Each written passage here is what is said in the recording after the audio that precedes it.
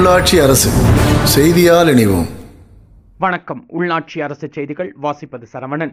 திருப்பத்தூர் மாவட்டம் ஆம்பூர் சோலூர் பகுதியைச் சேர்ந்த ஹர்திக் ரோஷன் வயது இருபத்தி ஒன்று என்பவர் ஆம்பூர் ரயில் நிலையத்திலிருந்து சோலூரை நோக்கி சென்று கொண்டிருந்த போது ஆம்பூர் ராஜீவ்காந்தி சிக்னல் பகுதியில் நிலை தடுமாறி பக்கவாட்டில் சென்று கொண்டிருந்த கண்டெய்னர் லாரியின் சக்கரத்திற்கு அடியில் விழுந்து விபத்திற்குள்ளானதில் தலை நசுங்கி சம்பவ இடத்திலேயே பரிதாபமாக உயிரிழந்தார்.